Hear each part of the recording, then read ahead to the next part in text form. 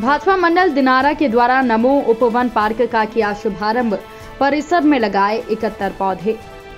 खबर शिवपुरी के दिनारा से, जहाँ पर प्रधानमंत्री नरेंद्र मोदी के इकहत्तरवें जन्म दिवस के अवसर पर चल रहे सेवा और समर्पण अभियान के अंतर्गत भाजपा मंडल दिनारा में नमो उपवन वृक्षारोपण का कार्यक्रम आयोजित किया गया। इसमें कार्यक्रम के मुख्य अतिथि भाजपा प्रदेश महामंत्री रणवीर सिंह रावत, जिला अध्यक्ष राजू बाथम रहे। पावर हाउस के पास स्थित देवना बाबा मंदिर पर कार्यक्रम आयोजित किया गया।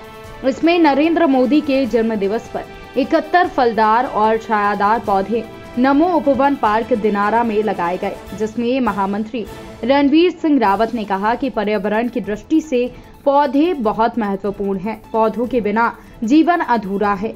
हमें अपने जीवन में पौधे लगाना चाहिए, जिससे पौधे बड़े होकर वृक्ष बने और हमें शुद्ध ऑक्सीजन मिलती रहे। वहीं पार्क का नाम नमो पवन रखा गया। साथ ही इस मौके पर भाजपा के पदाधिकारी गण और कार्यकर्ता मौजूद थे। उम्र बनेगा, क्योंकि पानी भी पास में और हमारे युवाओं का जो एक लगाव इस स्थान के प्रति है, अभी अध्यक्ष जी कह रहे थे और हम लोग बातचीत कर रहे थे कि जब किसी स्थान के प्रति लगाव होता है तो वो पेड़ भी हमारे सुरक्षित होंगे और एक अच्छा हमारा ऊपर यहाँ पर बनेगा।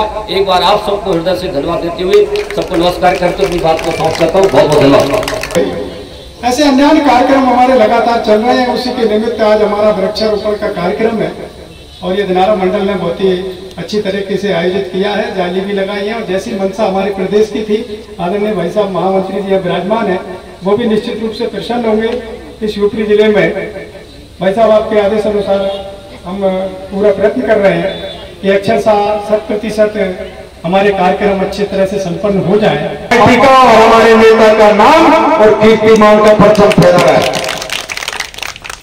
हम सब मिलकर, इसी भाईचारे के साथ मिलकर, पार्टी नेतृत्व के निर्देश अनुसार हम भारतीय जनता पार्टी का एक कार्यकर्ता समाज की सेवा के लिए, समाज के कल्याण के लिए के उत्थान के लिए हम काम करते रहेंगे।